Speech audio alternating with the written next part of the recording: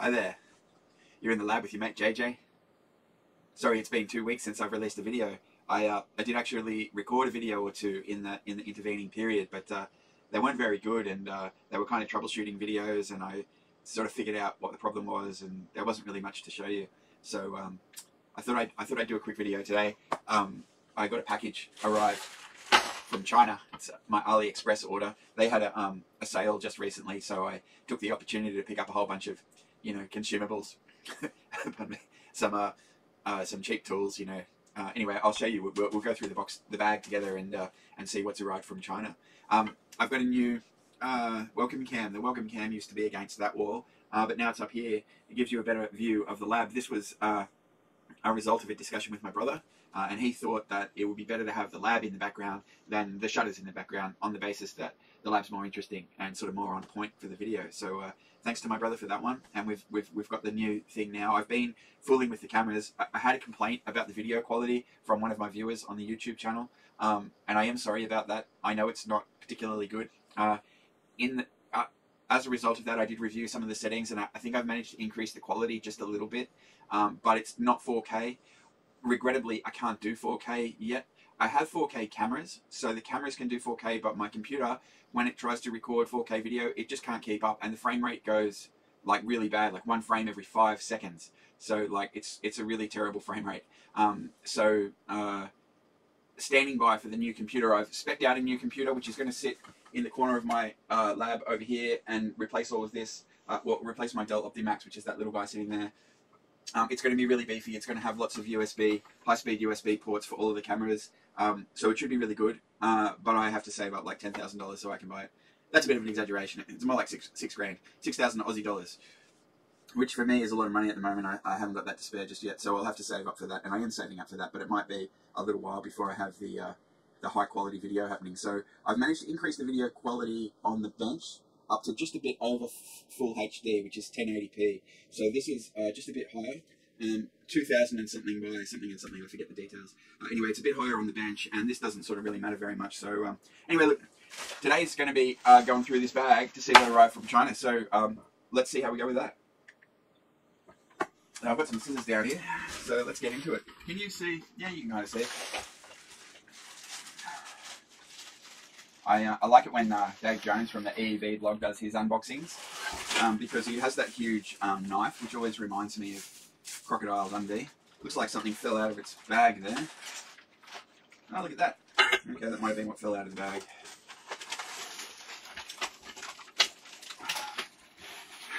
I'll just get all this stuff out and then we'll pop it over to the bench and we'll have a look at it one by one. It's like Christmas time, isn't it? I got all sorts of little bits and pieces.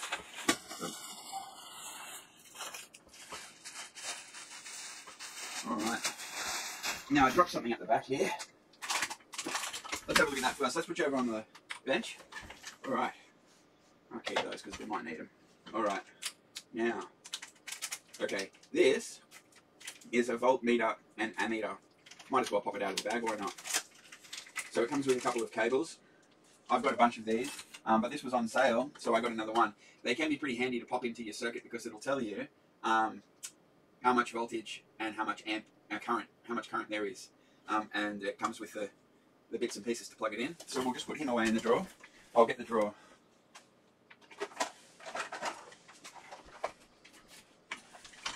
This is the drawer. It says on the front. Uh, can you see that? Digital meter, it says. Digital meter. I don't know if you can see that. Anyway, I've got a bunch of them, and now I've got one more. So that's good to have. Now these are pretty cool. I only discovered these recently. Um, but these are um, uh, for joining wires together. Um, they're basically uh, heat shrink, um, but they've got a little blob of solder in the middle. So um, you just stick the two wires in and then heat it up and the solder melts to the wire and the heat shrink insulates it. So they're pretty handy to have. Now what am I going to do with all of this stuff? I don't want to uh, spend my time filing it while I'm on the camera with you. There is a there is a whole box up there. Maybe I'll use that. I don't know. All right, well we'll just put it in here for now. Now, what else have we got? Oh, this is again the same as I just showed you, except it's got uh, it's got more um, sizes. Let's take him out. Um, we'll just pop him open. There we go. So these are the same thing as, as I just showed you, except um, that rather than just having the, the size with the red, I've got larger blues and yellows and some smaller white ones. So these are just for joining wires together. You stick a wire in each side. Whoops. Geez, you can't take me anywhere. I've dropped my thing and I can't see it. Oh, there it is. All right. I'm not sure where I'm going to keep these yet, but uh, that's a good problem to have. All right. Uh, yes. Now, these are JST, um, but I'm not sure what type of JST. Uh, I forget. Um, XH. JST XH. So that's what these are. Um, I've got a, a, stray tab. We'll put him out of the way.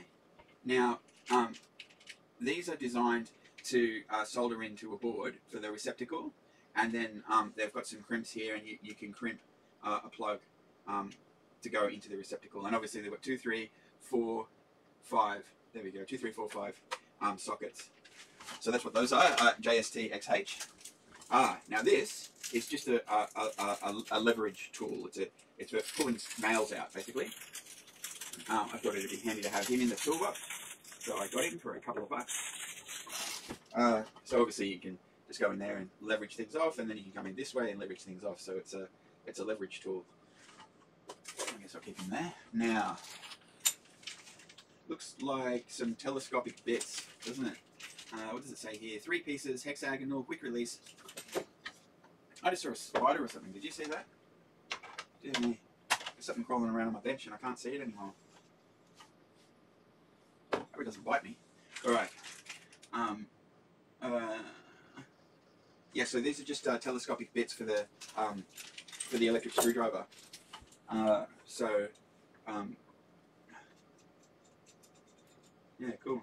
It, uh, I don't know what that top bit's for. It spins, but I don't know why.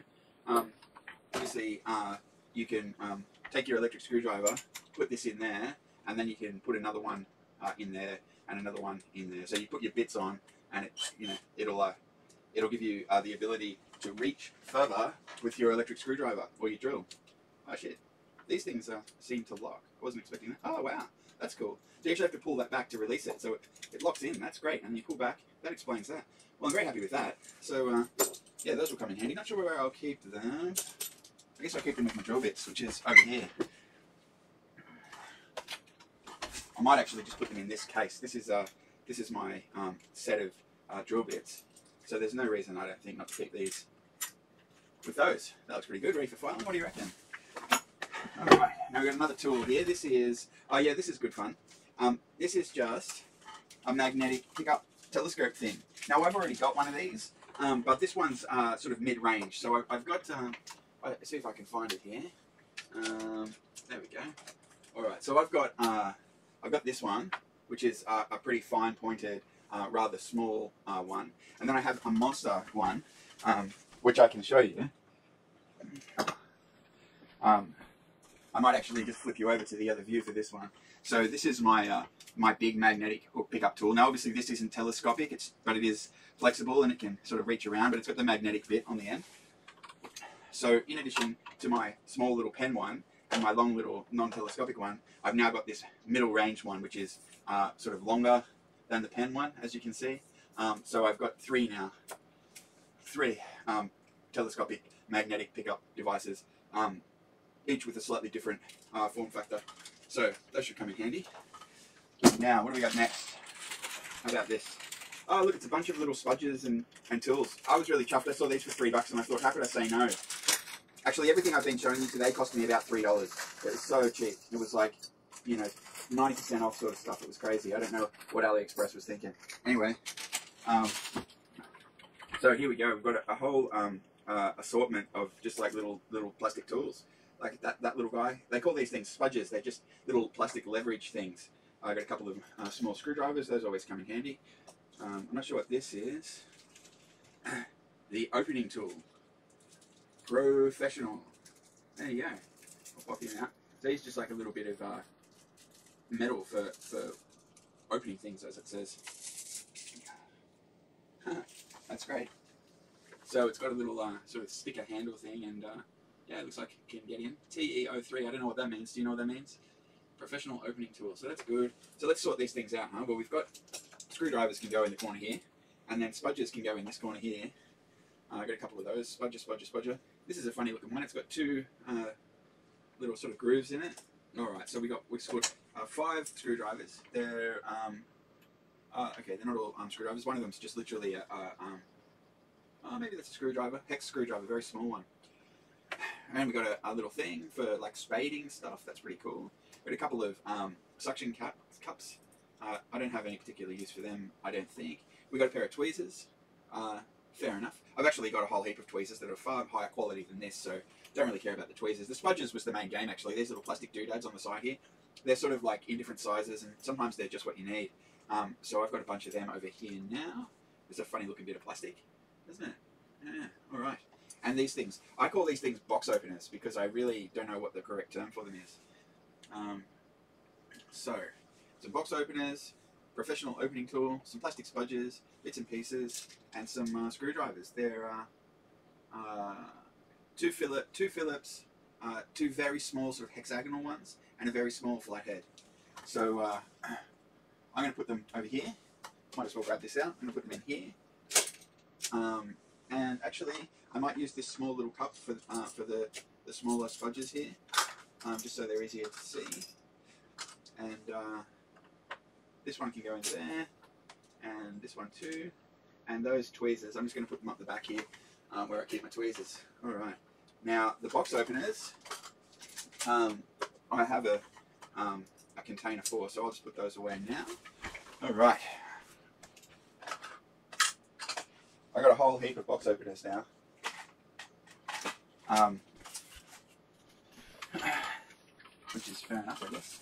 Now I'm not sure what this is. It's like another telescopic tool. I don't know if it's another magnetic one. It may be. It's popping out of his bag. Now, what do we got here? Some sort of plastic on the head. Take that off. Alright. Well, it's kind of heavy, this thing. Whatever it is, it's dense. Man, I'm fighting some static electricity here. I can't get the bit of plastic off. It just won't come off. Look, oh, there we go. Try and put him up there. There we go. Oh, yeah, this is the uh, the magnetic pickup tool that has a built-in um, uh, torch, I believe. Ah, there it goes. Can you see that? Yeah, ripper. So it's a magnetic pickup tool uh, with a built-in uh, torch. So there's me picking up the uh, the screwdriver. It's telescopic, so can you see? It's telescopic and um, and magnetic, and it's got a light on it. Isn't that great? You just turn it that way, the light goes off. Wonderful. I'll keep him up the back there as well. Um, that that uh, container up the back there started to get a bit full. I might actually put that guy over here instead. Now, onwards we go. So what's next? Got some, uh, what are these? Knife blades by the looks of it. So uh, they're just some replacement uh, blades for my craft knife. Um, so there won't be much to see here, just some blades. You know, razor blade kind of things for, for the craft knife. There we go. So you can see uh, just a little box full of blades. So uh, you can see there, they're, they're just, uh, can you see? Oh, actually, look, this thing's taped on. Let's try and pop him out of the, uh, out of the case. So we've got uh, just a little box full of, of sharp blades. Can you see? Yeah. So um, I don't know why that went autofocus. I wish it would. I'm not real sure how to make it focus. Anyway, there's a, a bunch of, of, blades for my craft knife, so plenty of those, that's good. I'll just file this. And then we've got more of our uh, heat shrink um, cable joiners. Um, this one's a bit different to the other one. It's uh, it's got some um, black, just standard normal heat shrink, uh, in addition to the uh, the one that has the solder blobs in the middle. So it's not exactly the same as the other one, but it's similar. It's got the white and the red and the blue. It doesn't have the, the big yellow ones, and instead of the big yellow ones, it's got some just standard uh, black uh, heat shrinks. So that's good to have. And uh, I think we've got more JST connectors here. Are these JST XH as well? They may be. They are indeed. So this is just uh, another bunch of um, JST XH connectors, but as you can see, these ones go up into a much uh, larger uh, set of options. So it's uh, one, two, three, four, five, six, seven. It goes up to seven uh, whereas the other one only went up to five. Uh, oh, that's a nice touch. They've given us some some little uh, heat shrink as well to go with the thing. There doesn't seem. Oh yeah, I was going to say there doesn't seem to be any crimp lugs, but they've got pre-crimped wire. So that's even better, isn't it? You don't have to mess around crimping on a wire. Um, you can just just use the pre-crimped uh, wire. So that's uh, seven. That's probably six, five, four, and three, I believe. Not going to confirm that, but I'm pretty sure that's what it is. So there we go. Some more uh, uh, JST XH uh, kits. Now look at this. This is the top-notch four-piece mini hook and pick set. Three dollars on AliExpress. How could you say no? So I should be able to just pop him out. Yep. There's just a um, a little sticker here, which is getting in the way. So we'll pop him off. Let's see if I can get him there. We. And then he should just slide out. Yeah. And he comes. Oh, is there a... Oh, yep, there he is. There's a um, one staple. I thought it was surprising that there was no staples, and of course there is a staple. It's just here, and now it's out. Alright, so this is our top-notch repair tools. Cool brand. Alright, so we got a, a great big honking hook, and we've got a little like lever pokey bit. We've got a 90 degrees pokey bit, and we've got a straight pokey bit. So if I need to do some poking, I've got all the tools I could possibly need. So where am I going to keep these? It's a good question. I don't know. I'll keep them in here for now. I don't know. No, I don't know. I'll uh, I'll leave them here, and we'll come back to them. In fact, what I'll do is I will leave them on this tray. I bought this tray on AliExpress. Came today. It's uh, it's just a, a little stainless steel tray for holding things. So it'll be a good place to leave my top-notch repair tools as we continue with this video. Now, oh, this is more spudges, but these things are enormous, great big honking plastic ones. So we'll just uh, pop them out of their thing here, a bit further. All right. So uh, it's just more spudges, and in fact, you could call this whole order of mine the spudges order. This thing's for um, leveraging out things. Just a, it's a lever with a little sort of a fork head, flat fork head, I guess you'd say, on the head of it. So I'll put him in the tool drawer, and then I've just got an assortment of plastic spudges. But these things are, are great big honking ones um, compared to the little ones that I got as well. So uh, yeah, a bunch of options there, which is pretty great. Getting towards the end of our package here. So let's have a look at what's in this one. This, yeah, I'm not sure what this is. Maybe it's a center punch. Oh no, this is a. Um, uh, I wonder what that. I mean, it's got a it's a it's got a, a, retractable thing, but I don't think you use it. It's just a. Yeah. So this is a uh, an IC pickup tool. So you you can pick up stuff with it like that. You see, and I can pop him off, and I can pick him up. So it's just a grabber. That's pretty handy. I'm actually just going to keep him on the bench. Uh, I like having some tools floating around on the bench so that it, um, I don't I don't have to go looking for them when I need them. They're just on the bench. That's where they're stored. Okay, we've got some more um, uh, J, JST. Uh, does it say XH? I'm expecting XH. Uh, maybe not. I'm not sure. Anyway, I've got some more JST connectors of, some description. I'll, I'll, I'll, figure them out later and file them appropriately.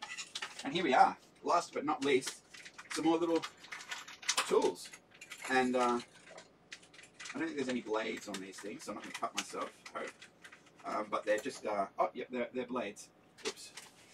Well, it's not really super sharp blade. It's just a, um, just a, yeah, okay, great. So, um, as you can see here, uh, just an assortment of like, uh, I, I don't know, could you call it metal spudges? Do spudges have to be plastic? I don't know.